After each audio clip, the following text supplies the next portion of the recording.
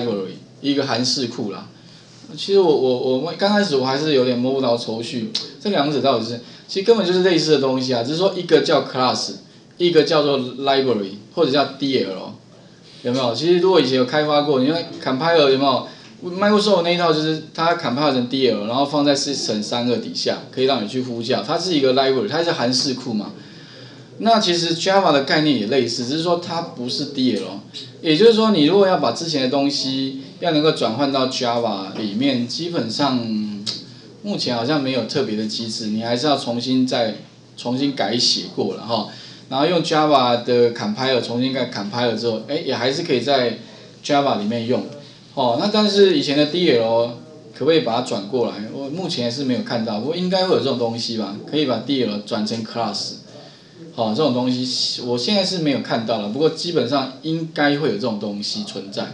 哦，那这个架构的话，基本上类似，就是说我们有这个函式库就可以去呼叫它，来帮助我们达到我们要做的事情。我想这个如果以前有写过程式的人，大概都会有这些观念。那基本上我们的工作并不是要去写这个写函呃，不是要去写函式库，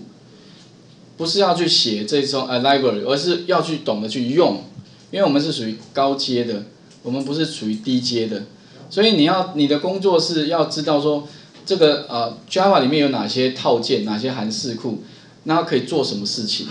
比如说你对于字串处理的话，它里面有一个 string 的类别，其实就是有点类似一个 string 的一个一个函式库吧。反正你就要知道它有哪些方法，那这些方法可以帮助你做什么事情。比如说你要切字串好了。中间有很多的空白，然后你要把它切成一个阵列的话，那你就要知道哦，有一个什么 split，好，可以帮你把它切割。这个其实基本上也有点类似，如果各位有用过 Excel，应该都知道，Excel 里面不是有插入函数吗？那些函数也是道理差不多啦，反正那些就是使用函数库去达到什么样的目的，大概类似这样这样子哈。OK，那再来的话，它的编译执行，好，大概流程是这样子，就是我们的虚拟码。程式嘛，它做一个 compile 变成一个 bytecode，那这个 bytecode 的话呢，就可以在那个 JVM 上面可以 run，好，那它的原始码基本上它的副档名就是点 Java 点 Java，那 compile 之后就是点 class C L A S S，那这个点 class 哦放在 JVM 上面就可以 run，这个有点像是我们在 Windows 里面 compile 成点 EXE 对不对？你才有办法在 Windows 里面 run 嘛，道理是一样的，就是一个是。在 Windows OS 上面 run，那如果说你在 Java 啊，Java 很聪明，Java 就我不要 OS，我的 OS 就是 JVM，就是点 class 就可以在上面 run。